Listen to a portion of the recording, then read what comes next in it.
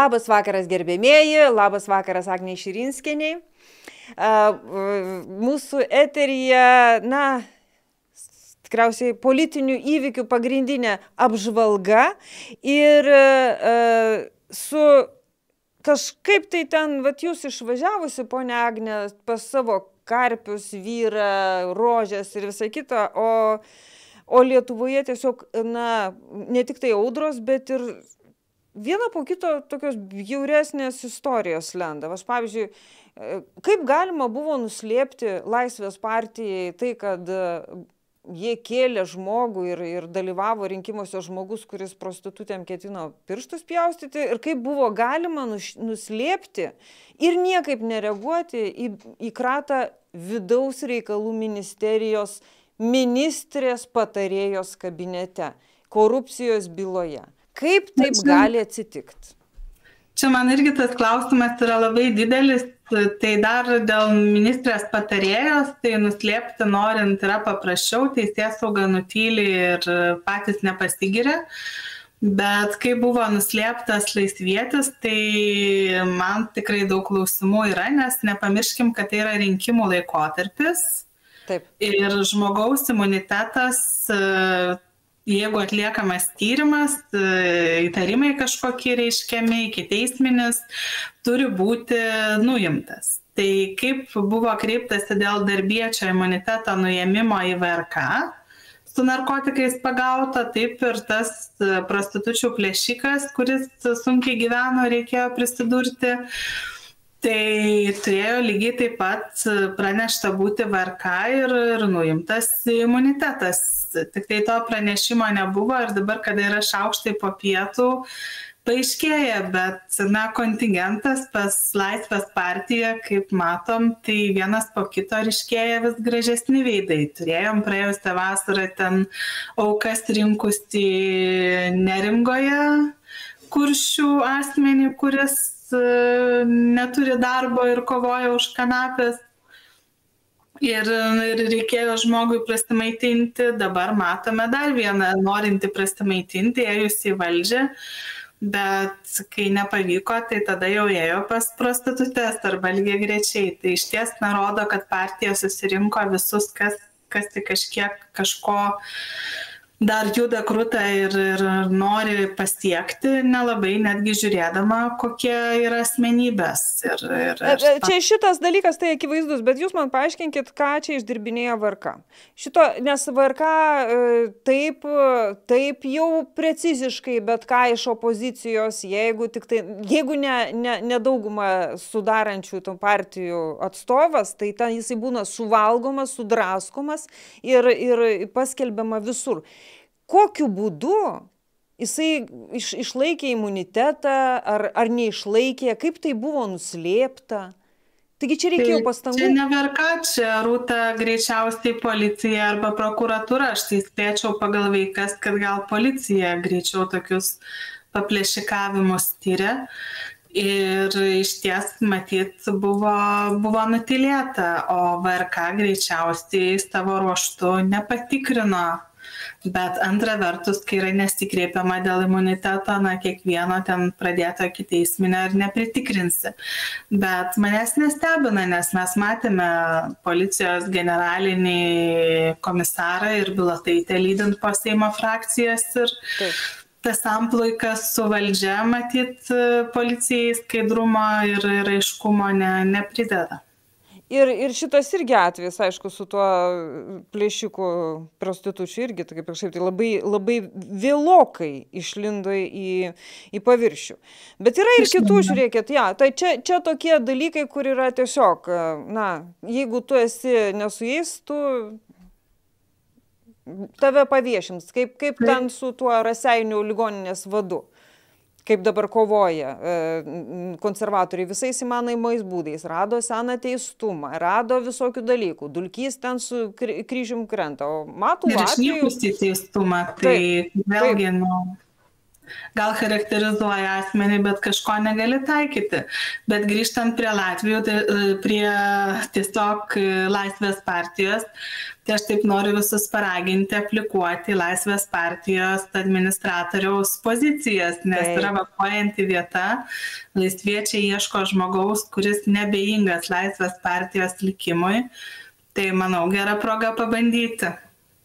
Ten taip, ten e, labai keistas būdas yra ieškoti žmogaus, skelbiant Facebook'e ir nesurandant e, šito, šito, šito žmogaus. Bet tai, važiuokit, nu, jūs paminėjote dėl, dėl, dėl e, policijos. O šitą dalyką, va čia šitą kratą vidaus reikalų ministerijoje kaip čia įmanoma taip va ilgai slėpti? Nes e, iš principo na e, mes turime tokias vat istorijas, kada vat, visiškai vis, visiems aišku dabar ir platinama ir mušamas tas raseinių kažkoks tai ten chirurgas, pasibaigęs teistumas, o čia mes greta turim veik, vykstančią korupcijos bylą, kur Radviliškio buvusi administracijos direktorė, kaip aš suprantu, jinai ten, e, jie ten išvogė planšetės ir, ir, ir, ir šituosgi iPhone'us. Taip, ten yra tyriamas turto grobstimas, bet yra tyriami ir, ir korupciniai nusikaltimai. Taip. Tai matyt, ten dar ne tik planšetės ir iPhone'ai, bet kažkas daugiau, bet iš ties, na, jau ne pirmas atvejis, kuomet e, žmogus taiga nušvinta, kad norint dirbti kitą darbą ir traukėsi tai jeigu apie bartoševičių sužinojom tuo pat metu tai apie ministrės patarėją išplaukė į paviršių tik vėliau bet čia matyt ta slapstymo strategija yra toks politinis sprendimas tiesiog norint pasirodyti gražesne suknele negu kad bilotaitė turi bet tai beje yra ne jos pirmoji patarėja. Mes prieš tai turėjome dar vieną patarėją kuri skandale iškeliavo taip pat iš patarėjų vietų po to, kai kilo skandalas dėl pušyno, kiek e, aš atsimenu. Ir, ir ten nuslėptų interesų konfliktų į, į tą teritoriją, kur vėlgi sutapo su ministerijos kūruojamomis rytimis. Tai, na, irgi apie ministrą labai daug pasako, kada susirenkami patarėjai, jie vis tiek yra renkamiesi tokie, kurie, na, politiškai artimi, pagal darbo stilių pakankamai artimi. Tai galim įsivaizduoti ministrės darbo ir veikimo stilių, jeigu jau ne pirmas patarėjas įkliūva, tai su interesų konfliktu, tai su, su STT, tai dar kažkaip. Tai tas iš ties apmaudu varemo sistema vis tiek yra ta teisėsauginė sistema, tai na, nepuošia ministerijos tokie, tokie dalykai, bet kaip aš sakau, matyt, nereikia stebėtis, nes jeigu žiūrėtumėm į vyriausybės programą, jie ir nežadėjo kovoti su korupcija ir, ir, ir, ir už skaidrumą. To vyriausybės programoje nėra, tai tiesiog matyt žmonės jautė, kad taip gali būti. Ir ministrė niekaip nekomentuoja šitų dalykų. O, o jinai gali pakomentuoti, kad, pavyzdžiui, kaip jūs suprantate, jinai vieną, vieną patarėją kažkodėl tai vežėsi iš Klaipėdos, ne, iš Palangos, o kitą patarėją jinai dabar vežasi kažkur tai iš Radviliškio. I, kokios ten kompetencijos, ko, kokių jinai čia atsivežė. Aš suprantu, kad jo, pavyzdžiui, Šimonytės ant draugė buvusi švietimo ministrė, jinai iš Kauno atsivežė te, ponę, kuri buvo įrodyta, kad jinai fiktyviai ėmė algą, ten irgi korupciniai istorijai tokioj įstrigusi. O tas, tas žiedas konservatorių provincijos, jisai jums nekelia abejonių?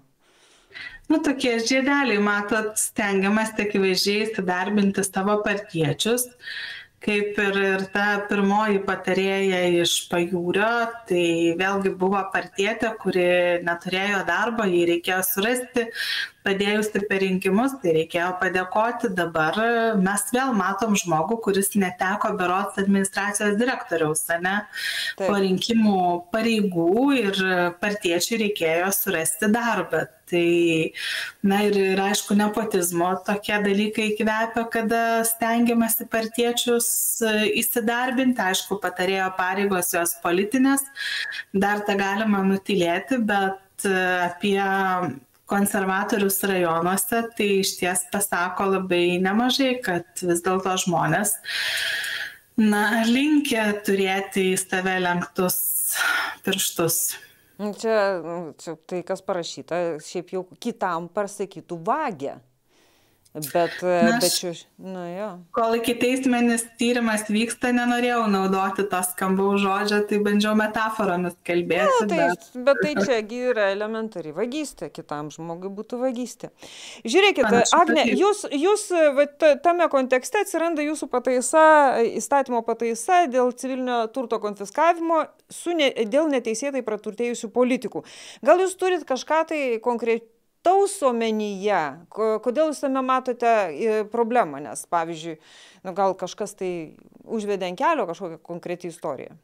Aš, kada skelbiami politikų mokesčiai sumokėti ir jų deklaracijos, na, man kartais kyla tokių natūralių klausimų, kaip politikas, kuris e, visą gyvenimą yra politikas, neturi verslo, ane negali uždirbti per akcijų valdymą, staiga sukaupia turtus.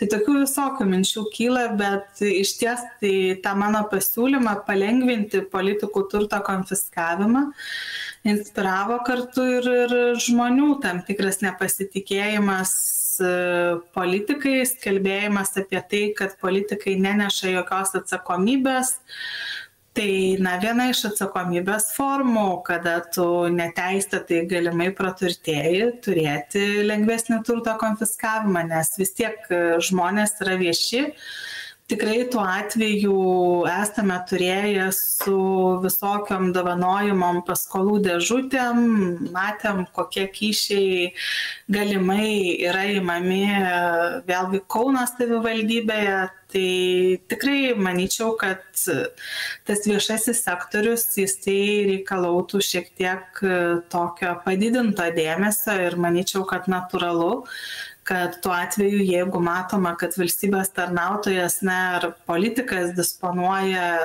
pakankamai dideliu turtu dabar tai yra šim tūkstantį ne šimtas tūkstančių eurų vertė kada neatitinka pajamos ir realiai disponuojamas turtas tai jisai būtų konfiskuojamas supaprastintai kaip kad taikomas tas mechanizmas daliai žmonių iš tarkime nusikalstamo pasaulio arba asmenų kurie susiję su nusikalstamo pasaulio tam tikrais asmenimis tai tarkime sutuoktiniai įvairūs tai daliai piliečių kurie susiję su nusikalstamumu tas mechanizmas taikomas kodėl jisai negalėtų būti taikomas politikams aš realiai nematau jokių priežasčių nes padidintas skaidrumas šitam sektoriui visąlaik yra deklaruojamas bet tai kaip galus surasti? Žiūrėkit mes kalbos yra apie iš tikrųjų milžiniškus kyšius. Aš manau kad teisėsauga yra sukaupusi pakankamai duomenų. Pavyzdžiui tiktai e, pa, e, alstomo byloje ten yra visas pasakojimas atėjęs iš anglijos jau teisėsaugos patikrintas apie tai kaip ten penki milijonai grynaisiais yra nešami vienam politikui atiduodami. Ir tos tos lėšos kažkur tai išteka prapuola. Tai vat surasti e, politikai nėra tokie kvaili kad jie iš karto pasistatytų rūmus ar nusipirktų kokį nors ten dvarą.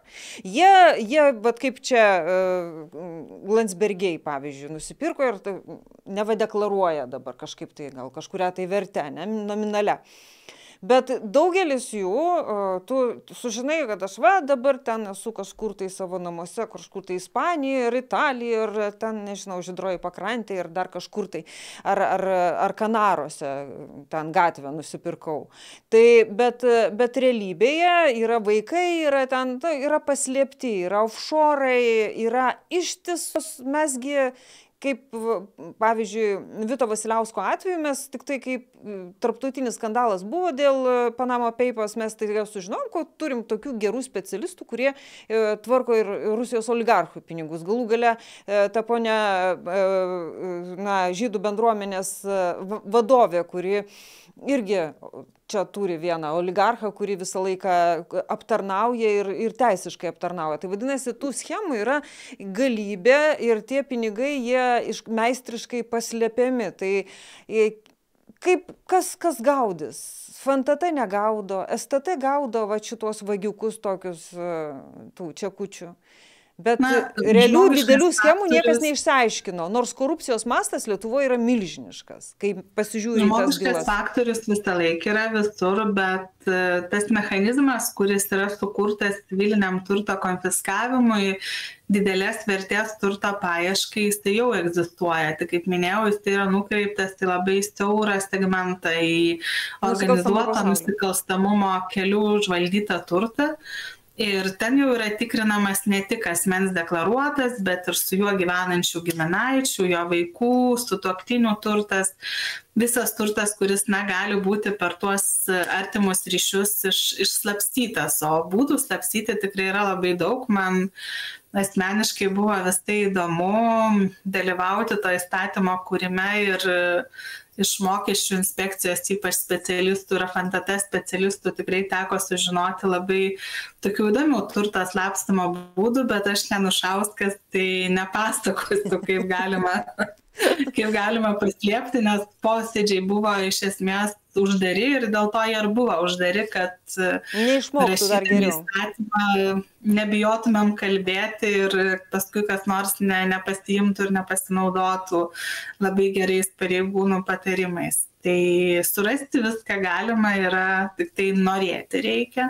Mhm. aišku dar yra tam tikrų problemų ypač jeigu užsienyje kažkur paslepiamas turtas už sąjungos ribų tai reikia turėti tarpusavio pagalbos sutartis dėl turto paieškos. Tai ten taip atsiranda problemų nors lietuva metai iš metų vis pasirašo daugiau susitarimų kad teiks informaciją bet na yra dar tokių jautrių vietų kurių kurių mažėja. Tai šiuo atveju šitą civilinio turto konfiskavimo e, klausimą žiūriu pakankamai taip optimistiškai juo labiau kad pirmosios bylos tas įstatymas veikia labai labai neseniai vos keletą metų taikoma yra baigėsi tiktai turto tyrimai bylos yra jau pasiekusios teismus ir jos ten sėkmingai juda. Tai manyčiau kad tas mechanizmas jisai veiks.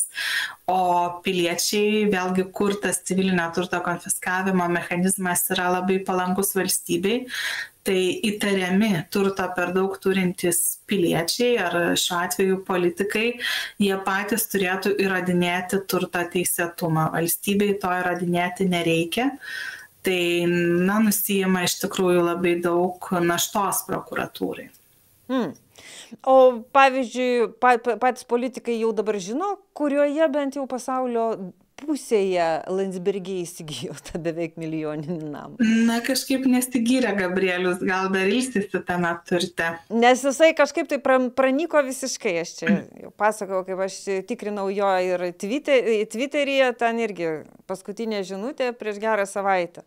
Tai jau taip nėrėsi dugna, kad jau visiškai pamiršęs ir Ukrainą ir vis, vis, viską, kas jau yra keista. Bet gal kartais gerai, aš taip šiandien matydama vyriausybės šitą savaitę be atostogų, su atostogomis ir be darbo, taip pati savo pagalvojau, kad bent jau valstybėje mažiau problemų yra. Nu, bet tai šitągi mokesčių reforma keliauja jau dabar atkeliavusi ir jie šitą dalyką spaus. Mokesčių reforma keliauja, bet man Šimonytės paskutiniai interviu netrodė labai optimistiški, mhm. nes iš esmės ji pradėjo jau kalbėti apie tai, kad jeigu nebus mokesčių reformas, vadinasi, nebus ir išmokų kelimo. Ir panašu, kad ten sutarti su koalicijos partneriais netgi ir toliau nelabai sekasi. Bet koalicijos partneriai išradingi ir mes, aš prašysiu jūsų irgi komentaro, bet prieš tai dar, o tarp kito, paminėjo Čimonytę. Klausykit, aš jau beveik pirkau gėlę sveikinti, jinai pradėjo kalbėti apie savo vaikus ir anūkus. Jinai ką laukėsi? Pirmą kartą girdžiu, kažką praleidau. jinai parašė čia praėjo, toksai šurmulys socialiniuose tinkluose, kada jinai e, kalbėdama apie Marcinkievičiaus paminklą, jinai irgi pasisakė. Grįžo moteriškiai ir pasisakė ir pasakė, tegul sprendžia mūsų, mūsų vaikai ir anūkai. Kokie vaikai, kokie anūkai? Aš apšalęs posūkį mačiau iš ties premjerė irgi tą kovą prieš Marcinkievičių įsitraukė labai intensyviai. Ja, bet tai va čia toksai, toksai įdomus, bet, bet e, šiaip jau tas mes apie tą vaikų savinimąsi šitos politi, politinės jėgos, mes, aš jūsų dar klausiu, nes va tas mūsų vaikai, kokių vaikai? Tu neturi vaikų, teta. Nu, tai kaip, kaip tu gali, mūsų vaikai yra nukai. Ką jinai vadina mūsų vaikais? Nu, matote, matyti. Nes baisu, nes šitą, šitą publiką jie pretenduoja į svetimus vaikus apie konservatorių gal vaikus kalbėjo. ai, ai, nu gali būti. Ir anukas. Jeigu būtų parašyta į anukas vienaskaitą, visi būtų supratę teisingai, bet dabar nors tai gėlės per. Yra anukų Lietuvoje yra labai daug. Taip, bet iš didžiosios A1.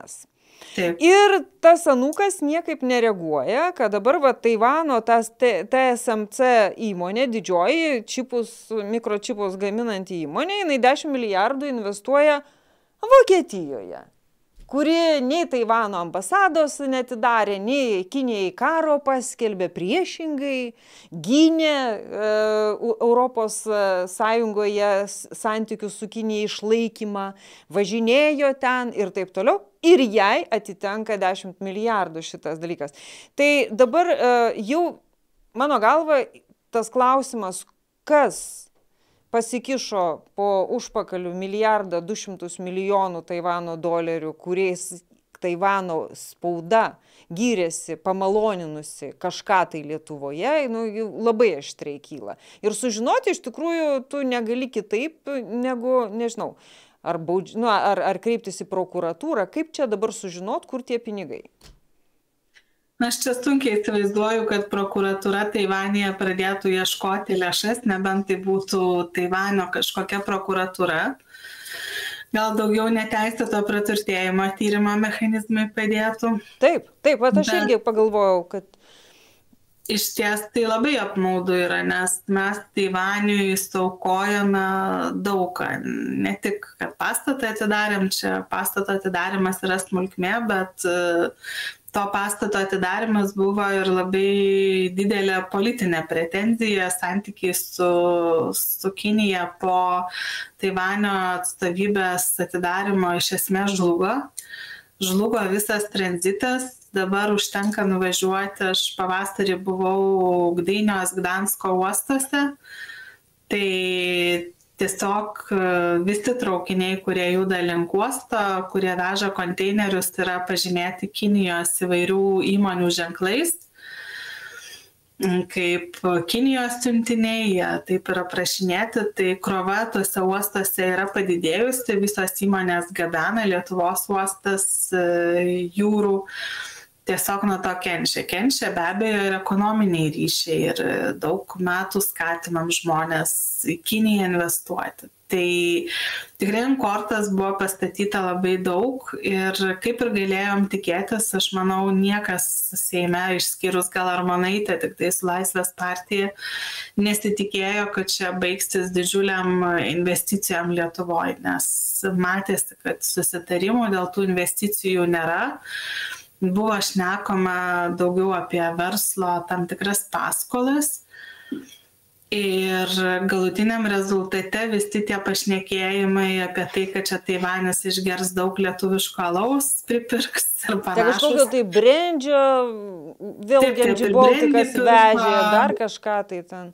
Nors mes nelabai garsėjom tam brandžio gamybą iš tiesų, tai, na, baigėsi visiškų fiasko, o vokiečiai ta pragmatinė politika tam tikrą prasme nugalėjo ir, ir tikrai turės didžiulę investiciją į savo ekonominę ateitį. Tai... Bet tai e, kas nors, at jūs čia būtina bent jau paklausti tos Armonaitės, kai jinai pasiaiškintų, dėl, kur, kodėl ne pas mus, nesgi buvo sakoma, kad Nu jau matukas vis sakė, jie tau dabar tai jau tuos čipus čia jau net keulės valgys vietoj pietų.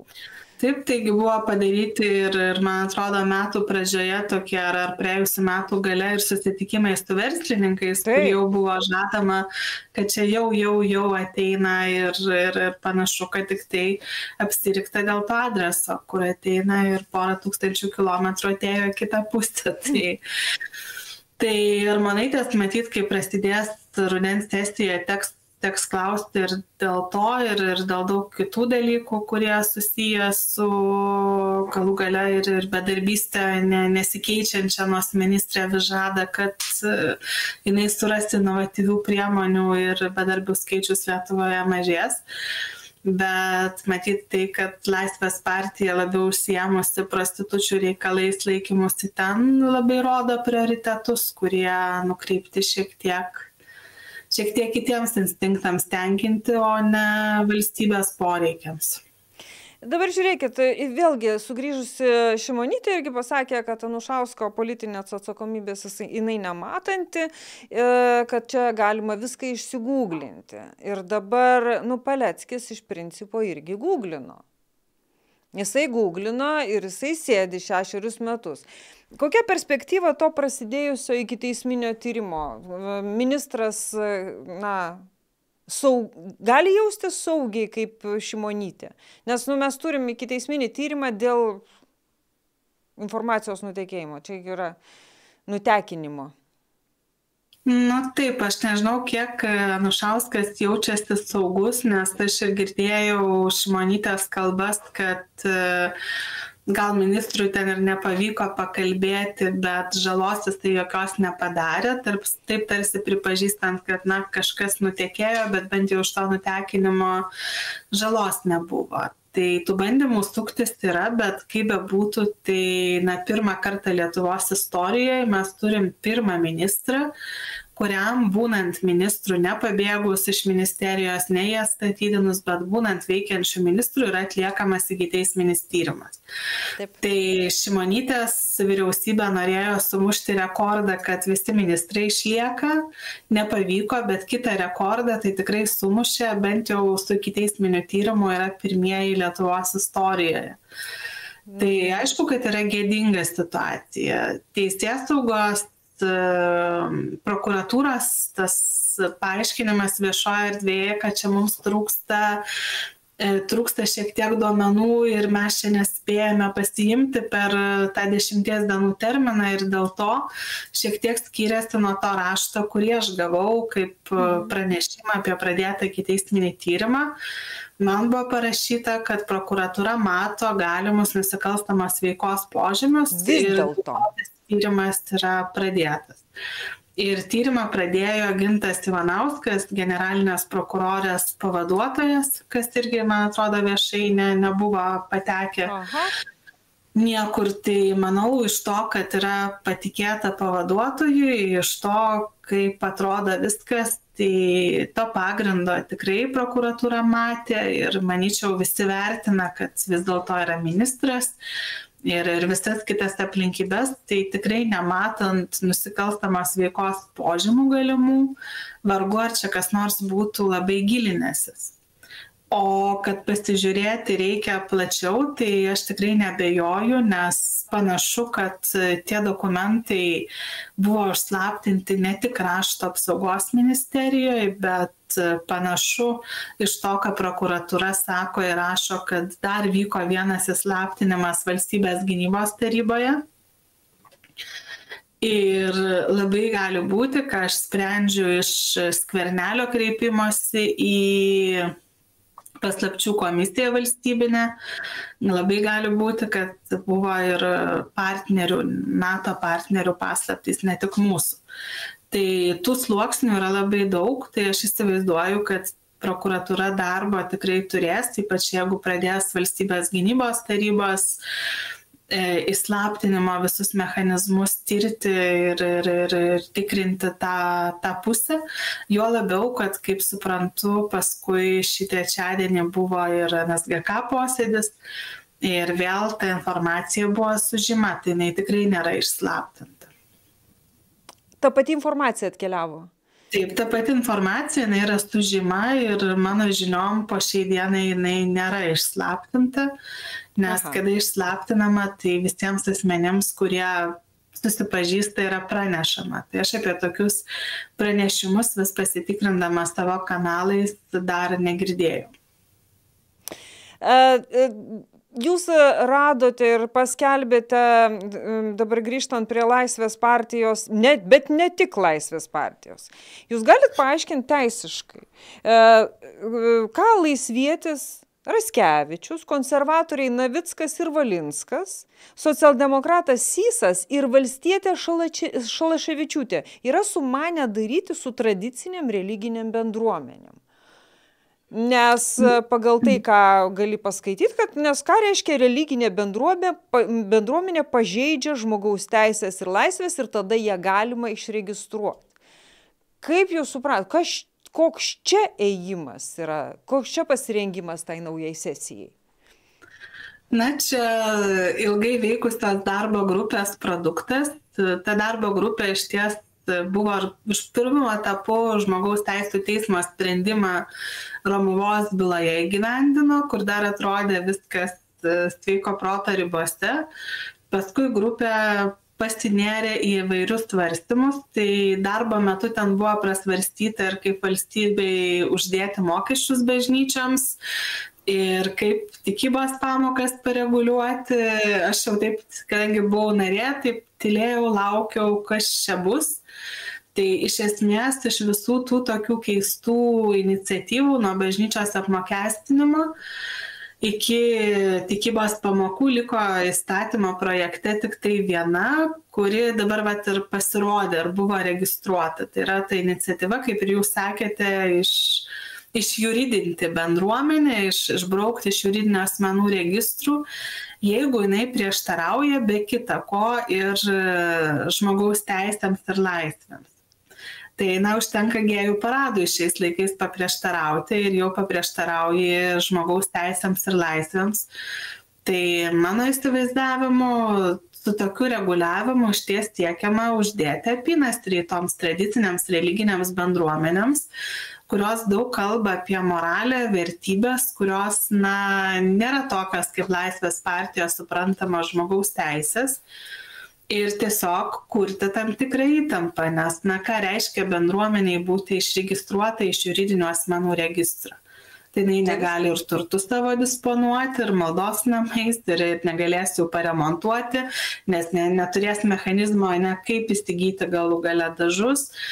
Aš jau nekalbu apie tai, kad kartais bendruomenės, kaip katalikų bažnyčia, dar valdo ir iš senų laikų sugražintus jiems pastatus tai tikrai būtų didžiulis apsunkinimas bendruomeniai negalėti veikti kaip juridiniam asmeniui, nes dalis iš jų yra susiregistravę kaip, kaip juridiniai asmenys. Čia ir parapijos, ir, ir atskiros, taip?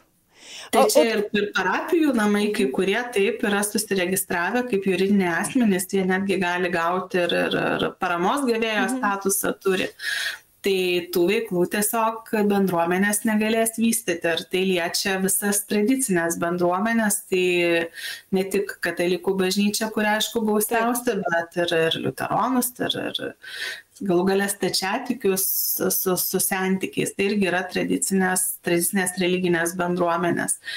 Tai kaip svarstant, aš suprantu, kad gali valstybė turėti na, gynybos mechanizmą, jeigu bendruomenė religinė tampa destruktyvi, bet kaip sugalvoti šalia saugumo klausimų, kad jeigu bendruomenė išregistruojama, jeigu jinai grėsia valstybės tam saugumui, dar įrašyti ir, ir, ir žmogaus teisės ir laisvės, tai čia jau, aš manau, tikrai ne, neatsitiktinai tas dalykas atsirado, aš atsisakiau pasirašyti tą teisės aktą kaip darbo grupės narė, na, kolegų buvo, kurie neatsisakė, tai mes su, su demokratų frakcijos atstovu likom dviesti nepasirašę. O jūs dabar man paaiškinkit e, kitą dalyką. Tai jeigu jūs girdėjote diskusijas, tai jūs girdėjote ir motivaciją.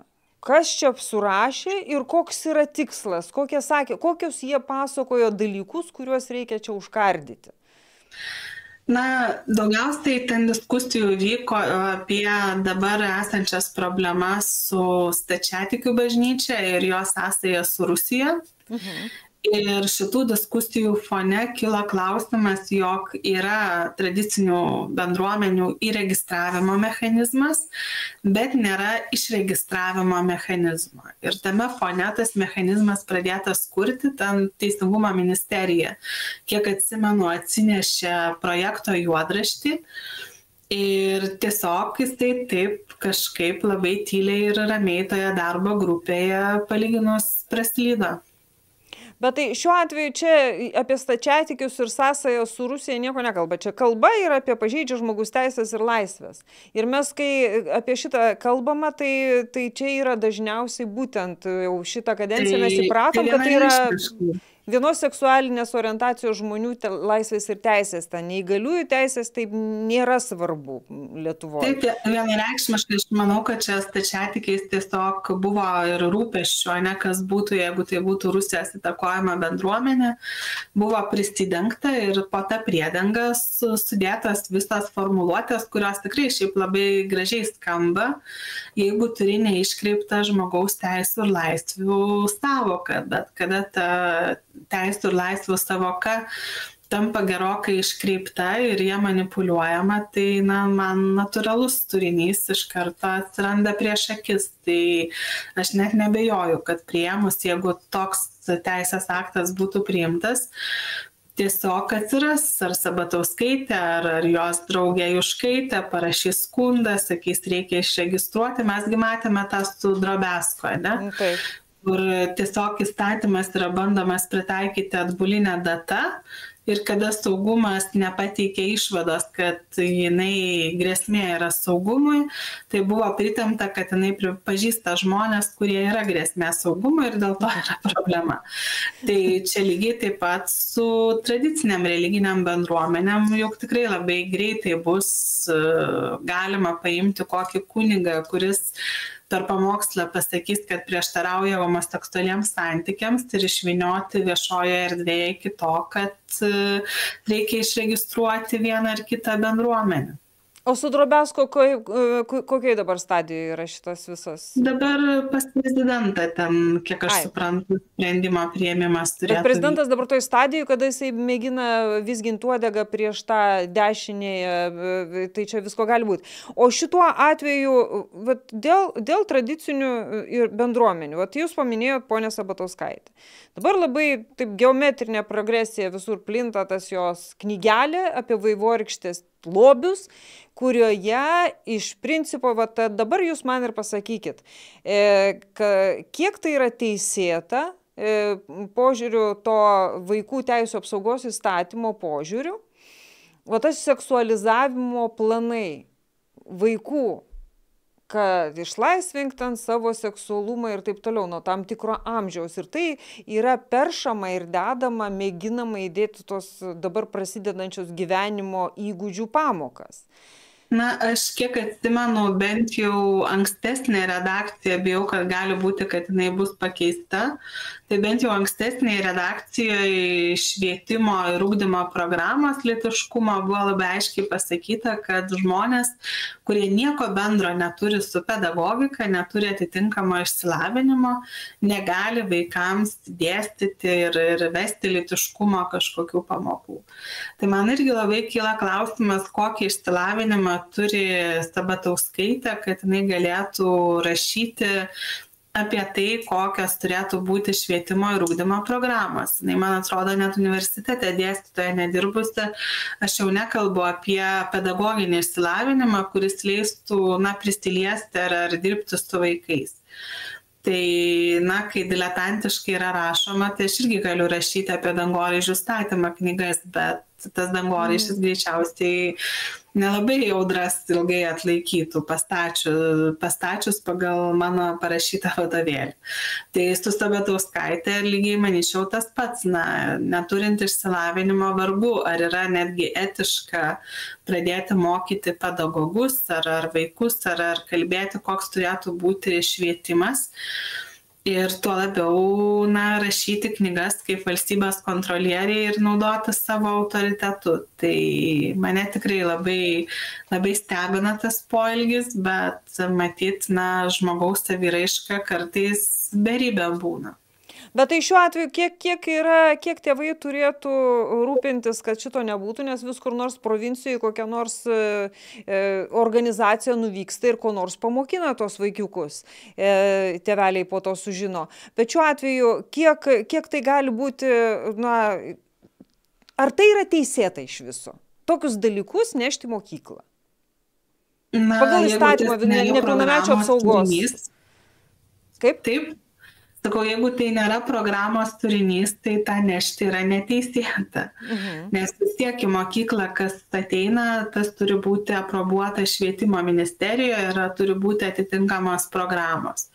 Bet kitas dalykas, kuris labai svarbus, tai na, tėvai turi teisę ir konstitucija įgalina tą daryti sakydama, kad tėvai yra atsakingi už vaikų ūkdymą, na, domėtis mokykloje teikiamomis programomis, kontroliuoti, prašyti, parodyti, kas kas vaikui ane pristatoma pamokose. Ir per būtent tą savo kontrolę ir aktyvumą, aš manau, tėvų bendruomenės kai kuriuose mokyklose pasiekia iš ties neblogų rezultatų ir, ir tokie abejotini pedagogai iš kažkur su prezervatyvais ir agurkais ar panašiai nepatenka. Tai šiuo atveju, na, kada atsiranda keistos iniciatyvos iš valstybės pareigūnų be pedagoginio išsilavinimo, tai aš matyčiau vis dėlto tas tėvų bendruomenės, jų aktyvumą ir domėjimąsi kaip pagrindinį stabdį toms e, tikrai labai keistoms e, iniciatyvoms. E, dar, dar vis tiek noriu šitoj vietoj toliau klausinėti jūsų, nes Žiūrėkit, mes jau dabar artėjom prie to, tos diskusijos, aš ten pasiskaitinėjau, ten e, yra, nu, iš tikrųjų antimoksliniai dalykai dėliojami apie, apie lytis, kad, kad tai yra balta, baltas popieriaus lapas, kad vaikams, kad, na, tas, tokie, gretimoje pamokoje jiems paaiškinama apie biologinės lytis, ne? Kad yra, taip yra genetiškai chromosomos, rinkiniai ir taip toliau. O čia jiems yra aiškinami visai kiti dalykai e, ir mėginami aiškinti ir jie kažkokiais tai būdais vis tiek pasiekia vaikus.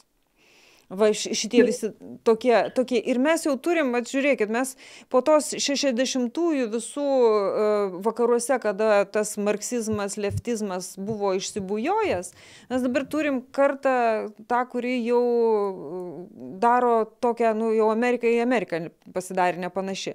Dabar mes pradedam auginti kartą vaikų, kurie va šitai bus suveltos smegenės, kuriam iš tikrųjų, nu, tai aišku jie tiki mokslu jie tą tikėjimas mokslu ten buvo tas vienas iš šūkių.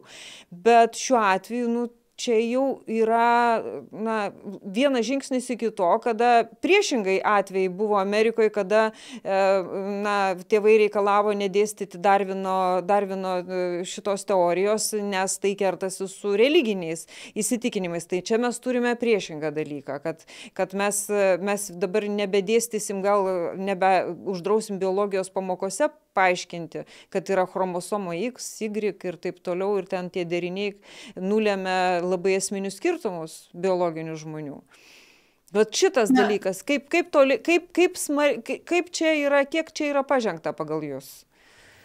Čia nemažai yra pažengta, nes iš ties tai, tai ką daro Stabatauskaitė, nėra mokslas, bet yra jau ideologija ir jos pavertimas pamokomis arba ūkdymo tai na aš suprantu ir manau visi suprantam kodėl jinai tą daro ir kam yra reikalinga ideologija kam reikia sakyti kad e, asmenys yra vos nelyčiai neutralūs ane ir, ir baltas lapas kuris gali prirašyti.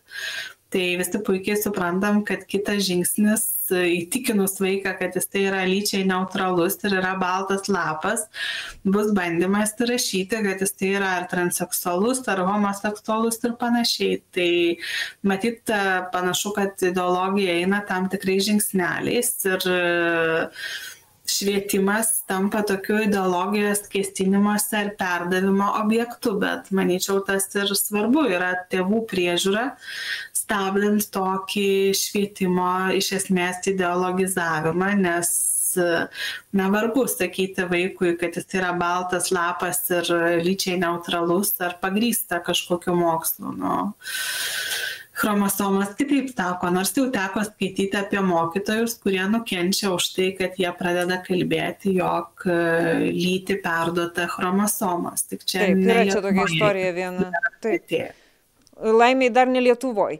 O, o žiūrėkit, tai gerai, va šitas ideologizavimas, kiek tai ateina, e, va čia yra greta, pavyzdžiui, tie, kurie jau labai kelia paniką dėl šito, jie sako, šit, kad šitas ateina kaip e, banga, kaip tsunamis iš vakarų, iš, iš Briuselio, kad tai yra iš reikalavimuose sveikat, pasaulio sveikatos organizacijos, vėl prisimenamas ten kažkoks tai tyrimas psichologinis vaikų, ten seksualumo ir raidos ir taip toliau, sakoma, kad čia yra, čia yra dalis to mokymo. Kaip atskirti pelus nuo grūdų šitoje istorijoje? E, šitame visame, kur čia yra ta varomoji jėga? Sabatauskaitė ar vis dėlto čia yra kažkoks tai volas einantis per pasaulį? Na, aš manau, viena varomoji jėga yra Stabatauskaitė ir jos kolegos, kurie yra angažuoti asmenys ir turi tam tikrą asmeninį suinteresuotumą, nes nepamirškime, kad jinai na, neslėpia savo homoseksualumo, gyvena su partnerė. Tai dėl tai Dievo meilės niekas jai netrukdo to niekas netrukdo jai gyventi, bet panašu, kad atsiranda noras tą gyvenimą padaryti visuotinę normą ir įdėkti į švietimą. Tai aš tą norą matau, jisai realizuojamas pasinaudojant tikrai nemažomis pareigomis, kurias jinai gavo konservatorių dėka, tylint taikiai socialdemokratams tai tai ta situacija yra aiški bet tendencijos pasaulyje taip pat yra tiktai tiek kad na pasaulio sveikatos organizacijos rekomendacijos lietuvai nėra šitoje srityje kažkuo privalomos o sąjunga neturi kompetencijos švietimo srityje. Taip būtent. Tai nebent galim kalbėti apie lygias galimybes ir taip toliau bet na esami lietuvos teisės aktai tikrai visiems tas lygias galimybes e, užtikrina ir visi gali reikšti sabatauskaitė rašyti vat knygas kiti tas knygas kritikuoti ir ir ir taip toliau bet tai nereiškia kad vieno žmogaus parašytas kažkas turi tapti privaloma privaloma norma visai švietimo sistemai ir tikrai nereiškia, kad tėvai turi sėdėti ramiai ir, ir tylėti tą matydami.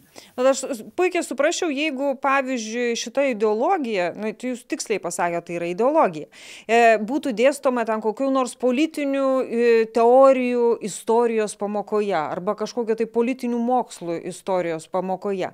Bet šiuo atveju jinai kišasi į žmogaus žmogaus įgūdžius, gyvenimo įgūdžius, tai yra gyvenimo būdą formuojant čia formuojančią dalį tos viso programos.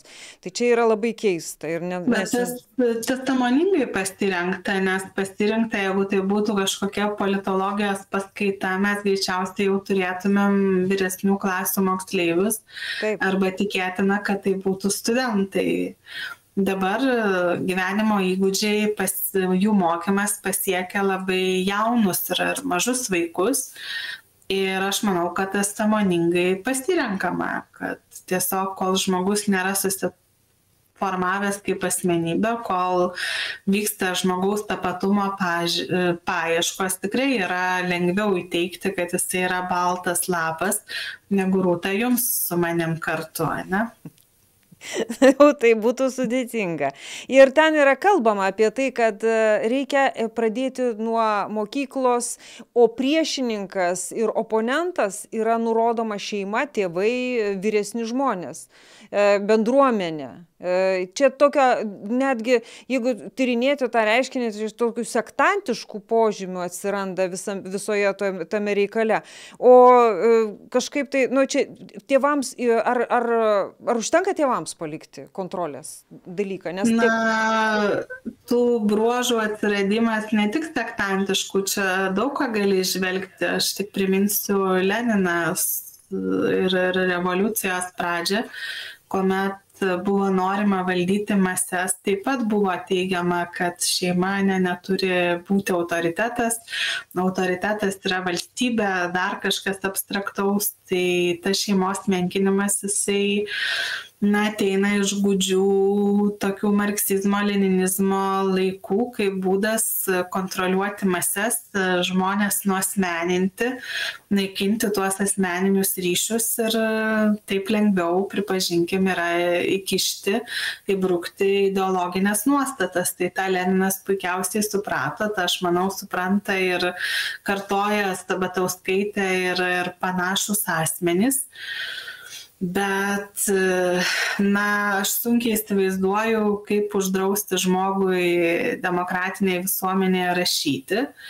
Bet kad knygos jos skaitomos turi būti atsirenkant ir kad jos turėtų nepatekti vaikams į rankas tai manau ir pedagogų užduotis ir ir tų pačių tėvų užduotis. Aš sunkiai įsivaizduoju kad valstybė galėtų sukontroliuoti tos pačios tarkime knygos naudojimą nes tikrai nu prie kiekvieno mokytojo prie kiekvieno kas nori ateiti į mokyklą mes policininko nepastatysim. Bet kiekvienam tėvui jeigu jisai rūpinasi savo vaiku tikrai manau yra labai paprasta pasiklausti ar pareikalauti kad būtų parodytos programos ir duota susipažinti Nes e, ten, ten yra, ką sako, pavyzdžiui, šeimų, šeimų sąjūdžio e, Algymantas Rusteika, jisai pasakė, kad, na, nu, aš jo lygiai to paties paklausiu, ar čia yra knygelė pastatyta bet kur bibliotekoje kaip viena iš knygelių, ar čia yra kažkaip tai susijęs su mokymo programomis, jisai sakė, kad yra taip, kad, vat, kadangi vadovėliai gini išleisti šitai, šitai pamokai, šitai nau, naujoviai, bet kad mokymo programuose kaip šaltiniai yra nurodyti būtent žmogaus teisų kontrolierės įstaigos leidžia leidžiamos knygos ir, ir, ir Sabatauskaitė ir taip toliau. Tar, į, įvardintas kaip šalt, galimas šaltinis, na, ne šita knyga, bet va ta kryptis. E, tai, tai taip šiek tiek tokį širpelį. E, ypač tai jaunesnių vaikų. Tiesiog tėvų domėjimus tai lieka matyti, nes šiaip vaikams tikrai tie šaltiniai nėra duodami. Taip. Vaikams rankas nepatenka kaip vadovėlė jokia knyga, jeigu jos neprobuoja švietimo ir mokslo ministerija. Tai to bravavimo aš bent jau negirdėjau, kad sabatauskaitės leidinys turėtų. Mhm. Mokytojai, na, jie laisvi skaityti, skaityti rekomenduojamas viską. knygas ir internetą žiūrėti ir daryti, ką nori bet mokytojų perdavė perduodamą turinį tėvai turi visas galimybes kontroliuoti tai šiuo atveju na matyt turim suprasti kad gyvenam tokioj visuomenėj kur kartais už tą savo e, teisę mokyti vaikus pagal savo įsitikinimus ar teisę ugdyti vaikus reikia išties ir, ir pakovoti. Ačiū Jums labai už, už šitą uh, tokį uh, vakarą su tokiam keis, keistom, iš tikrųjų tokia ne, nerami politinė va, vasara, nors ten kai kas ir pabėga fiziškai.